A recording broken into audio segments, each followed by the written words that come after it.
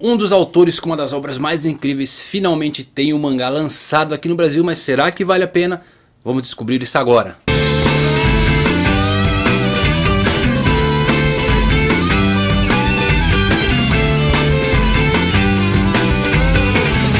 Fala galera, Evandro Fusari com mais um vídeo pra vocês, mais uma da série mítica. Vale ou não vale a pena gastar meu dinheirinho nesse mangá que acabou de sair? Hoje trazendo um mangá bem interessante chamado Inocente, lançado pela Panini Mas é lógico, antes de eu falar, inscrito Mangalático, explode o botão de like. Se você for novo no canal, se inscreve e automaticamente é promovido para Mangalático. Então a Panini está diversificando seu portfólio de mangás, bem interessante Trazendo um mangá com tema histórico, clássico e contemporâneo Tudo ao mesmo tempo, olha que legal hein? Eu estou falando de Inocente, não confunda com The Inocente da JBC Esse é Inocente de Shinichi Sakamoto, uma série bimestral. Vai ser dividida em 9 volumes, já está completa essa série, já chegou nas bancas, tem 208 páginas e custa R$ 21,90.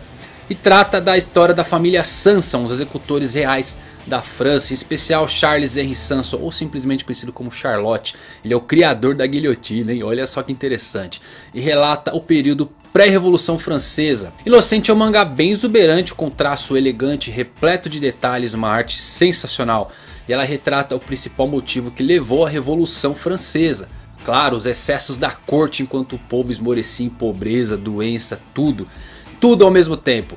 E a publicação aborda os dilemas pessoais também do nosso protagonista, Charlotte ou Charles Henry, no século XVIII, baseado nos princípios de liberdade, igualdade, fraternidade, ocorreu aí a Revolução Francesa, ponto de partida da sociedade atual. Então é um tema bem histórico interessante.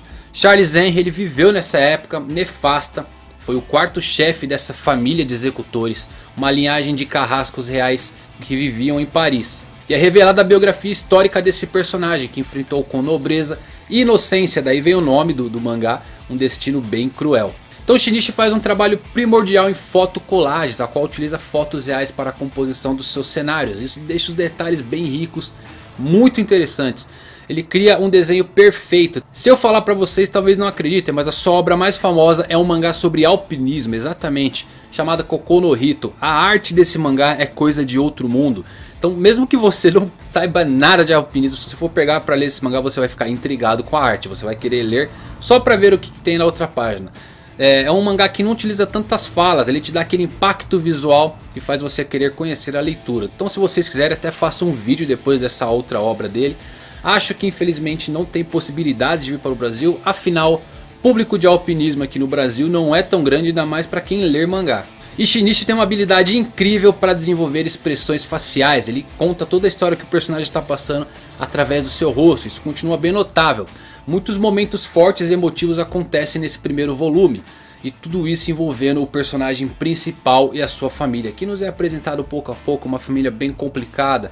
E alguns momentos são inclusive cruéis, mas podemos entender tudo que o protagonista é, Charles Henry Sanson sente. Isso que é bem interessante. E o final do volume foi belíssimo. O Shinichi acabou com qualquer expectativa que eu pude ter. É, além de ter acabado de um final abrupto, de um baque, sem conclusão, me deixou com vontade de continuar a leitura. Me deixou extasiado para dizer a verdade. Como eu queria saber o que aconteceu, ainda não li essa obra, acompanhei agora pelo mangá eu fiquei curioso para saber o que vai acontecer no segundo volume. E esse mangá talvez seja interessante para quem está compondo a sua história, para quem está fazendo o seu mangá, o seu livro, ou o que seja. Esse mangá tem uma narrativa muito interessante, porque ele é um mangá que não apresenta mistérios, Exatamente, um volume inteiro sem mistérios que deixa você impaciente para continuar a leitura. Você quer saber o que, que vai acontecer no próximo volume. Então Shinichi faz isso sem muitos esforços e talvez seja uma ótima fonte de estudo para quem quer desenvolver sua própria história. Então o drama vivido por Charles é bem interessante. Ele é jovem, ele não quer assumir esse posto de executor da família real. Porque a sua família vive meio que amaldiçoada, onde ele passa as pessoas jogam sal, na escola o pessoal quer que ele saia fora, não gosta, acham que ele é amaldiçoado, que ele traz é, azar. Então ele não consegue conviver com isso. Fora uma escolha pessoal que ele fez que é bem complicada, ainda mais naquele período. E tudo isso você consegue captar de forma perfeita através das expressões do personagem. Muito interessante o, o trabalho que esse autor faz. Então aqui na descrição já tem um link aí para você comprar esse mangá com desconto. Aproveite, enjoy! E você, já leu o primeiro volume? O que, que você achou? Já leu o Cocolo Rito? Gostou da arte desse autor? Gostou da forma que ele roteiriza? Da forma que ele conduz a sua história? Deixa nos comentários, eu quero saber o que, que você achou aí de qualquer história que você tenha lido desse autor. Mas por enquanto é só galera, muito obrigado por assistirem mais uma vez, obrigado mesmo. Vocês são demais, fiquem ligados, até a próxima e fui.